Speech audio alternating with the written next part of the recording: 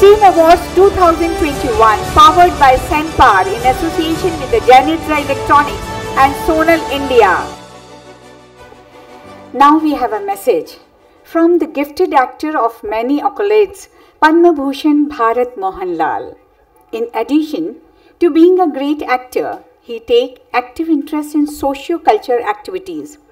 Vishwa Shanti Foundation, the cultural organization founded by Sri Mohanlal, is into many environmental uplift activities. Recently, they have embarked on an initiative to make schools in Kerala green by adopting energy saving measures. Let us hear from Sri Mohan Lal through video.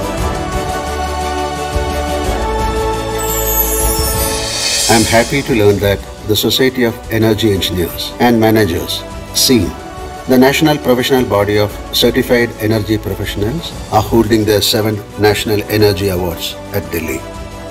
Awards will inspire the professionals and organizations to put in their best efforts to improve energy and performance. Collectively, this can contribute significantly to our Prime Minister's resolve to make India net zero by 2070. I wish the SEEM Award function all success and congratulate all the winners. Mohanlal.